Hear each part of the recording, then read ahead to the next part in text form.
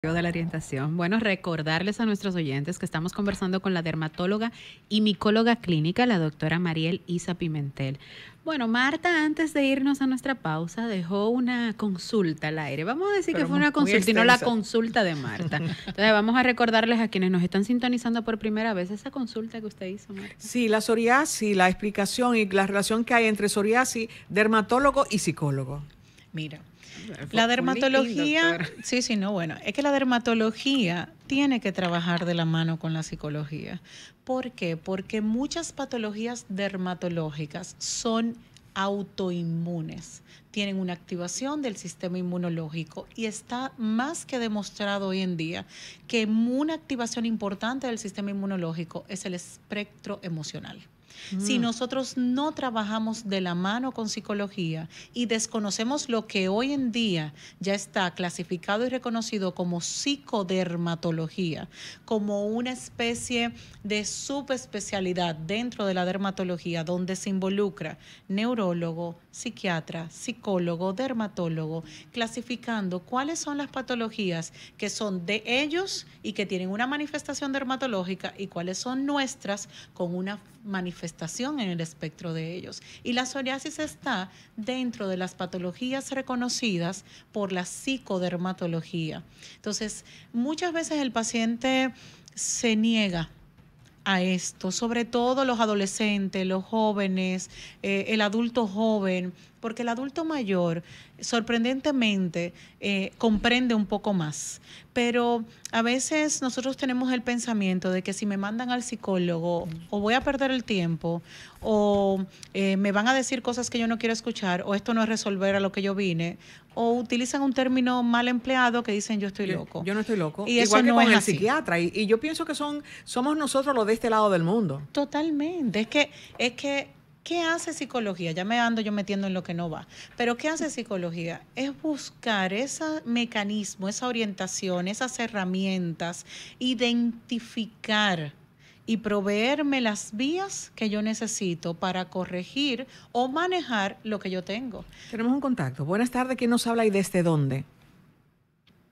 Buenas tardes. Marta Ortiz de Lucerna, Santo Domingo Oeste. Adelante, Marta, con su inquietud a la doctora. ¿Una toca ya? Marta. Ah. Mariel, Marta. Adelante con su inquietud a la doctora María Elisa. Eh, eh, mi pregunta es, ahora con el tema de, este fuerte calor que está haciendo, eh, ¿cuáles son las recomendaciones para exponernos al sol y el tema de, toda esta situación? Muchísimas gracias por su inquietud. Bastante interesante, doctora. Es importante porque ciertamente entre lo que va a producir el sol y lo que va o lo que está haciendo este calor, que la verdad que está en todos los lugares del mundo, desde que inicia el calor, es el calor, muy intenso. Nosotros tenemos que entender, uno, que cuando estamos expuestos al sol, sudamos más, evidentemente, empieza todo ese proceso calórico y encima esa sensación calórica va a producir esa pérdida de agua, o sea que estamos deshidratándonos, quemando la piel, la piel se inflama como un efecto secundario a esto y ahí empieza todo el proceso del sol acumulativo que hay que entenderlo y hay que saberlo. Por eso a veces la gente dice, ¿por qué a mí no me decían, doctora, antes que me cuidara el sol? Yo porque ahora me cuido, eso que yo tengo no es por el sol. Bueno, pero si usted pasó 10 años de su vida sin cuidarse del sol, ahí está. Entonces, ¿qué nosotros tenemos que hacer? Uno, utilizar las medidas principales que es con nuestra vestimenta. Es divino cuando uno visualiza los padres, los padres de ellos y sus hijos utilizando ropa que cubra del sol y que sean adecuadas para el calor. Porque a veces tú preguntas, pero ¿cómo toleran toda esa ropa? Porque la tela de esas ropas son telas que ayudan a esa transpiración. Tenemos un contacto, doctora, perdóneme, eh, para que sigamos sí, con... Sí, vamos. Buenas, tardes. Buenas tardes. Adelante con la inquietud de la doctora. ¿Quién nos habla y desde dónde? David Durán, de Santo Domingo Este. Gracias. mi cuestionamiento, mi pregunta, me han dicho es, tengo un amigo que se le irritan mucho los brazos, eh, así en tiempo de calor, él trabaja fregando con, grasa y eso. Entonces, eh, yo le dije que sí, que qué le dice el médico, él me dice que es por el calor. ¿qué puede utilizar para eso? Pues se le ponen los brazos rojos como con, si fueran, ¿cómo le digo? Como salpullido. Como bolitas. Exacto, como si fuera un salpullido, algo así. ¿Qué puede hacer él? Escucho por la radio. Muchísimas gracias, doctora. Vamos a conectar con otro contacto. Buenas tardes, ¿quién nos habla y desde dónde? Primitiva de la Romana, estoy viva todavía. y ya le extrañábamos, Primitiva. Adelante. Estamos extrañando. Gracias, gracias. Viva y su no suden estos tiempos. Eh, hay que, hay que, hay que ver. Nada, un abrazo para, para ustedes, la doctora Tiempo y al pueblo dominicano, eh, en especial a los que son inteligentes y sacan de su tiempo para que, que es muy importante. Bueno, doctora, eh, yo diría que, que la piel con este sol, cuando uno está sudando, es como cuando una esa carne de cerdo, quizá usted, quizá usted no sepa mucho. Ay, ay, ay. Yo soy del sur. O sea, que, que, está botando esa grasa. Yo, yo hago como esa comparación así, porque de verdad que cuando uno dice a sudar es porque el calor está penetrando y, y uno está botando ese, vamos a decir, el sudor que es lo que, doctor. Doctora. Que cuando uno está sudando, claro, eso es agua, eso es pérdida de agua. Ok, ok. Entonces, eh, ¿qué importancia? Dígaselo usted al pueblo, que está la doctora, que se lo pido yo, y me lo dice a mí también, que yo, yo lo sé, pero yo quiero que sea usted. El agua, doctora, el agua, beber mucha, mucha, mucha agua. Y otra cosa, doctora, eh, la, la ignoración, eso viene, usted sabe lo que es eso, eso viene siendo como, o sea, una vez yo me hice eso en la espalda, que como que me quitaban la piel ahí, con en eso es una cosa de la piel aquí, pero yo escuché después como que, como que eso no era saludable. Ay, lo último, doctora, yo no sé si fue usted, porque, pero yo sé que es una doctora buena moza que, de ustedes, del programa, de este programa, que me convenció a mí que no usara, que no me de guava. En realidad yo no era que me bañaba tanto, pero sí, pero mire, después de eso, de verdad que yo no guava. Me baño con porque la piel es lo más es lo más importante de, después de todos los órganos que uno tiene en la vida. Gracias. Gracias a usted. Conectamos con este oyente. Buenas tardes. ¿Quién nos habla y desde dónde? Buenas, María Vargas. Adelante, Domingo Este. Ay, eh, gracias por tan bello programa. Eh, me da pena con las personas que no toman conciencia de lo que está pasando con los rayos solares ultravioleta. Yo pienso que deben poner más eh, publicidad de los beneficios por todos los medios, de los beneficios que tienen que ver eh, usar el bloqueador solar. Gracias. Gracias a usted, María. Bueno, doctora, tenemos varias cosas. Estábamos en las recomendaciones para el para el calor excesivo en estos días. Y ahí se une un poco con una de las de los comentarios de la importancia del agua. Entonces, con la ropa adecuada, la ropa adecuada incluye los sombreros, las gorras, el que a usted le guste. Si le gusta de la ancha, de la corta, es algo que hay que ponerse, porque hay que cuidarse. Entonces, los lentes, porque no debemos olvidar nuestros ojitos, ahí los oftalmólogos entran también y nos ayudan en esta educación. Y evidentemente, pues el protector solar que tiene muchas versiones para que usted utilice realmente el protector solar que le conviene y el protector solar que le va a gustar.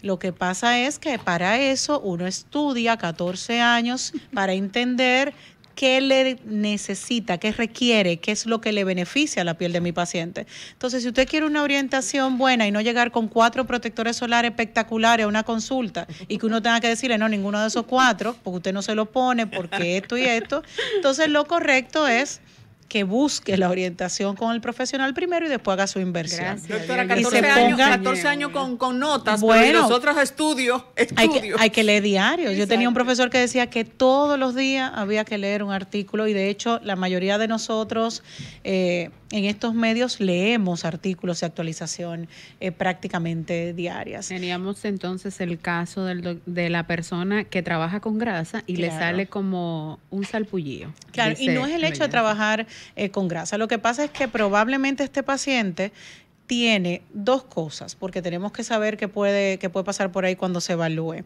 Hay algo que se llama periporitis, que es una inflamación de las glándulas de sudor, las glándulas ecrinas, que son las más comunes, son las que tienen ese sudor blanco, o sea, cristalino de todo el mundo. Entonces, esas glándulas que son las más abundantes se inflaman. Eso es algo muy propio de una persona y cuando esa persona está expuesta al calor, entonces empieza esa inflamación, la piel también se inflama porque ¿qué quiere quiere liberar con el calor la piel. Quiere liberar toda esa energía. ¿Para qué? Para proteger los órganos internos. Nosotros tenemos que saber, porque una de las cosas que comentaron fue eh, que es uno de los órganos principales después de los órganos. No, no, no, no.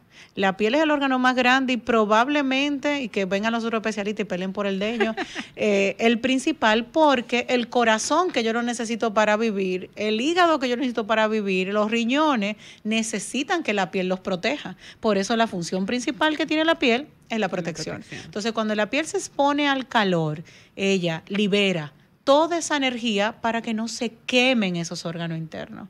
Cuando la piel se expone al frío, ¿qué hace?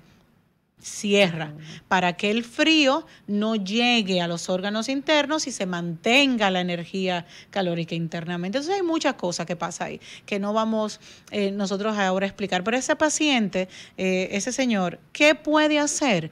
Utilizar compresas frescas. A veces me dicen los pacientes, doctora, pero comprar, no comprar nada, agua, agua fresca, échese agua. Si usted no tiene eh, o no quiere eh, un agua termal, el agua termal viene ya en preparado en algunos eh, sprays aerosoles, uno lo pone en la nevera, se va echando su agüita termal, el agua termal se sabe que tiene propiedades antiinflamatorias por todos los minerales agua, busque un rociador normal del que usted quiera y lo pone en la nevera con agua, bien frío, y cuando usted siente ese calor que ya viene a su vida, échese el agua. Eso es una de las cosas que nosotros podemos hacer. Eso es fácil, eso es sencillo. Si pica, si causa picor, entonces podemos usar formulaciones blancas, las que nosotros llamamos en, en dermatología, fórmulas blancas, que son las que tienen óxido de zinc, que vienen dispuestas para refrescar. A veces se sellan un poco, son un poco secas, hay que tener cuidado. Ciertamente es una condición de este paciente y lo que tenemos nosotros es que evaluarlo y ayudarlo con esas herramientas. Y la, Habían otras dos, que era el uso, señores, en, la época de mi abuela todo el mundo hablaba del jabón de cuava. De jabón Entonces, de ella menciona de que no, Eso es un problema. sí, yo me imagino, Porque yo hablar del jabón de cuava me va a traer la mitad de este pueblo a favor, la mitad en contra y un sinnúmero número de, memes impresionantes que van a salir en las redes sociales. O sea, eso es divino. Entonces, miren una cosa. En dermatología, básicamente, que nosotros le decimos a los pacientes? Hay que bañarse. ¿Con qué? Con agua y con jabón. Ahora, hay pacientes que a veces utilizar estas sustancias que son a base de jabón, o sea, que tienen detergente, que tienen químico, puede ser contraproducente y en esas personas nosotros recomendamos que se utilice una sustancia conocida como Sindet, que son limpiadores que no tienen detergente en su composición, pero son caros. Esa es la verdad. Son espectaculares. Caros porque obviamente para nosotros cualquier cosa puede serlo. Eh, para que tampoco ahora vengan la otra vertiente. Para los especialistas de la piel. Eh, exacto. O sea, es un tema. Pero la verdad es que si ustedes me preguntan si yo prefiero como especialista el jabón de cuava, yo le voy a decir que no. Ahora, si usted me dice en la consulta que le va bien el jabón de cuava, báñese con su jabón de cuava, porque yo no voy a hacer nada con cambiar algo que a usted particularmente no le está haciendo daño. Hace daño porque seca la piel, la seca. Pero si su piel le responde bien y a usted le gusta eso, ¿qué le puedo decir médicamente? Arrastra todo el microbioma cutáneo, si lo voy a poner así como un poema, como lo que es. O sea, va a alterar o dañar el microbioma cutáneo, que son todas esas bacterias, virus, hongos que viven naturalmente en mi piel para protegerme de la barrera cutánea. Va probablemente a ocasionar que yo esté más propenso, más expuesto a tener procesos virales, micóticos, eh, bacterianos en mi piel porque la barrera cutánea se alteró por el jabón de cuava? Sí. El que diga que no, que vaya y lo lea, porque sí. Ahora, vuelvo y digo, ¿usted le gusta su jabón de cuava? Nada que yo pueda hacer con eso. Doctora, una de nuestras oyentes habló de pigdoración. ¿Es pigdoración o pigmentación? Mira, pero lo que pasa es que ella dijo que algo de de quitar la piel, ¿verdad? Eh, hoy en día nosotros tenemos mucho nombre para muchas cosas también. Recuerden que eh, hay que buscar la manera de aterrizar un pensamiento, eh, sobre todo con los pacientes. Mercadeo dice, esto se llama así, también le llamamos asado. bueno, hoy es sábado, ¿verdad? Entonces es así. nada que altere, que talle la piel debe hacerse si no tiene una indicación médica. Nosotros en eso somos muy estrictos. Yo tengo pacientes que me dicen, yo tengo un aparatico, doctora, que yo me lo paso. Y ese aparatito tiene una esponjita y eso parece, ¿usted ha visto como un guayito? Sí, entonces, pero esa piel me queda, claro, porque usted acaba de arrasar de llevarse, de quitar la capa protectora que usted tenía ahí por una razón. Entonces, eso puede ser un problema posterior, porque al mismo tiempo también al usted hacer eso, la piel está inflamándose. Y la piel va a responder. Y si usted es un paciente de atopia, pues usted va a tener muchos problemas. Si usted no lo tuvo, está bien también, pero no significa que sea correcto. Doctora, finalmente hubo otra, otra oyente que nos habló del bloqueador solar, pero ahí yo quiero unir, porque hablamos de bloqueador solar y de protector y de protector solar. Entonces, ella preguntaba que el uso adecuado del bloqueador. Ahora yo pregunto la diferencia entre un bloqueador y un protector solar. Mira, la diferencia sería muy compleja explicarla desde un punto de vista, ¿verdad? Pero para que uno entienda, generalmente, unos lo que hacen es que dejan que el rayo llegue y lo repelen. Y los otros dejan que el rayo llegue, lo absorben y lo transforman. Entonces ahí tenemos el que protege y el que filtra. Perfecto. Sin embargo, hoy en día la mayoría de estos eh, productos ya vienen con sus sustancias que pueden ser protectoras y filtrantes. Por eso la mayoría de ellos funcionan como pantalla o funcionan como filtro solar. Y claro, viene toda la denominación de si son minerales, de si yo lo voy a utilizar porque me gusta lo que tienen más eh, sustancias naturales o me gustan más los que vienen estudiados y que ya están químicamente eh, probados y formulados. ¿Cuál es el mejor protector, filtro solar que yo voy a utilizar? El que a usted le guste, que usted se ponga, porque es que si yo le indico el protector o usted se compra, porque esas son las otras cosas, se supone que si yo le indico es porque yo he tenido el chance de evaluarlo y he tenido el chance de decirle, este es el que va, de acuerdo a lo conversado y de acuerdo a todo el esquema de las siete cremas de skincare routine que se quieren poner ahora. Ahora, si yo no lo indiqué, o si usted en alguna forma puso otras cosas, no le va con el sudor, con su día a día, se fue de viaje y ahora lo trajo porque pasó por ahí, estaba un bonito exhibido, son espectaculares, pero probablemente no es el que a usted le va. Ciertamente hay vehículos en gel, en crema, en serum, con color, sin color, crema gel, aerosoles, para que el paciente pueda utilizar realmente el que más le conviene. Si tienen waterproof y Estados Unidos te dice que eso no, pero Europa te dice que eso sí. O sea, hay muchas cosas. ¿Cuál es el protector solar? El que usted quiera, pero tiene que ponerse uno porque el cáncer de piel es una realidad. Las estadísticas americanas, que son probablemente de las más eh, estables, te dicen que uno de cada cinco americanos padecerá cáncer de piel. Entonces, eso es importante y eso es algo que tiene que quedarse con nosotros. Nosotros vivimos el Caribe, somos morenitos, qué bueno, pero eso no significa que nuestras estadísticas no vayan en aumento porque sí van. Doctora, las líneas están llenas. Lamentablemente no tenemos tiempo para más, pero no puedo concluir la entrevista. Primero, sin agradecerle y segundo, con que usted comparte las redes sociales, tanto suya y lo más importante, ¿dónde podemos encontrar a la doctora María Elisa para esas personas que quieren hacer su consulta a través de su consultorio? Yo de redes sociales me van a tener que dar una clase porque yo en eso soy bloqueada, pero A ver, hay. Pueden buscar en ISA Grupo Dermatológico, perfecto. Ahí hay redes sociales, son activos, ahí la puede buscar. Y si se quieren educar, están las redes de la Sociedad Dominicana de Dermatología, están las redes del Instituto Dermatológico Dominicano para que no lean de donde no hay. Entonces, por ahí. Y a mí particularmente, pues eh, como siempre lo comento, yo estoy en ISA Grupo Dermatológico y estoy en el Instituto Dermatológico Dominicano. Y ahí me podrán encontrar. Si preguntan por mí, le dicen que yo no estoy, no se lleven, ustedes van y entonces siguen buscándome.